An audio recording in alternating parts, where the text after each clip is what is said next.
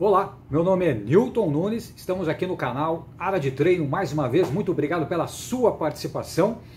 E aqui esse vídeo é para você que enviou essa questão, né? Será que eu sou magro e consigo ganhar massa magra? Você é magro e quer ganhar massa muscular? Você que é o ectomorfo, a pessoa com estrutura menor, já nasceu com peso menor, vive com peso baixo e quer ganhar massa muscular, quer hipertrofiar? Então, será que isso é possível? Claro que sim. Claro que sempre, só inicialmente comentando, procure sempre a orientação de um profissional da educação física para prescrever o seu treino. E o que, que ele deve prescrever, então, para realmente você ganhar massa magra, hipertrofiar? Olha, meus amigos, basicamente a regra é muito simples, é muito fácil. Claro que tem que ter foco, determinação, disciplina, assiduidade nos treinos, né? fazer uma boa prescrição e periodização, mas basicamente você tem que ter a questão, dois aspectos, o estresse mecânico e metabólico na sua musculatura. Então, de novo, para você que é magro e quer ganhar músculo, quer ganhar massa magra, você lá na sala de musculação precisa ter o estímulo para hipertrofiar, que é o estresse mecânico e metabólico. Você tem que estar lá na sua prescrição, no seu equipamento, no supino, no leg press, no equipamento que você tiver, tem que ter um estresse mecânico. Não pode ser uma carga muito leve, muito fácil. Claro, o profissional vai te orientar depois das primeiras semanas de adaptação muscular, domínio da técnica do movimento.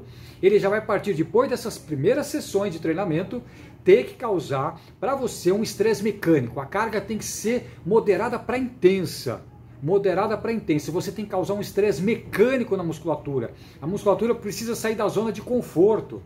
Né? Tá muito em moda hoje em dia falar zona de conforto. Pois é, a nossa musculatura precisa sair da zona de conforto. Se a carga estiver leve, você não vai hipertrofiar muito dificilmente e você não vai ganhar tão sonhado aí massa magra, peso corporal aumentando de uma maneira saudável, não de gordura, mas de músculo.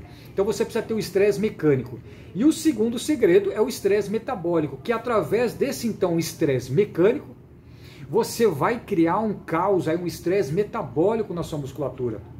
E com isso é o fenômeno do catabolismo. Você vai catabolizar, produzir íons H+, toda uma acidose na sua musculatura, que isso sim, pós-treino, com uma boa alimentação, hidratação, sono, carboidrato bem dosado e proteína, sim, uma gordura saudável, na fase pós-treino de anabolismo, Após o estresse mecânico e metabólico no treino, do catabolismo, pós-treino você entra no anabolismo.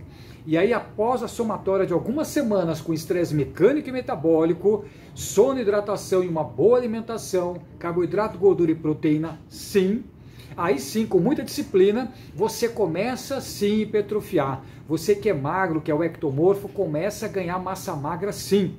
De uma maneira geral, bíceps, tríceps, quadríceps, peitoral, dorsal, enfim, panturrilha, mas precisa causar sim esse estresse mecânico e metabólico na sua musculatura. Então, cargas leves não vão dar o resultado que você tanto está almejando aí. Tá bom? Se você curtiu esse vídeo, clique no curtir, compartilhe com mais amigos e se inscreva aqui no canal Área de Treino. Meu nome é Newton Nunes. Um abraço, até o próximo vídeo.